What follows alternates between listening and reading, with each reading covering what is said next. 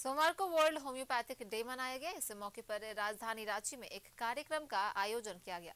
इस कार्यक्रम में मुख्यमंत्री हेमंत सोरेन ने भी शिरकत की और आंगनबाड़ी होम्योपैथिक किट का उद्घाटन किया।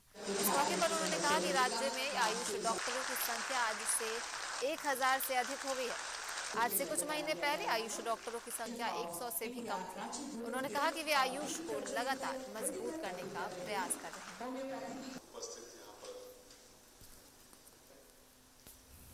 और आयुष चिकित्सक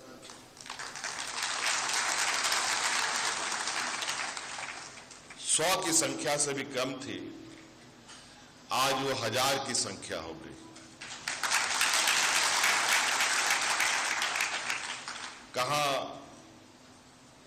पंद्रह बीस करोड़ रुपए से के बजट से आपने चलना प्रारंभ किया?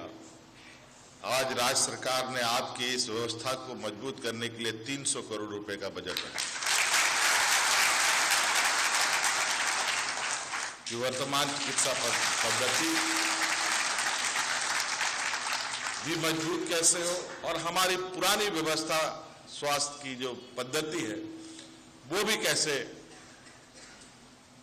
मज़बूत हो, इसका हमें हम लगातार प्रयास कर रहे हैं। हाँ, आयुष चिकित्सक।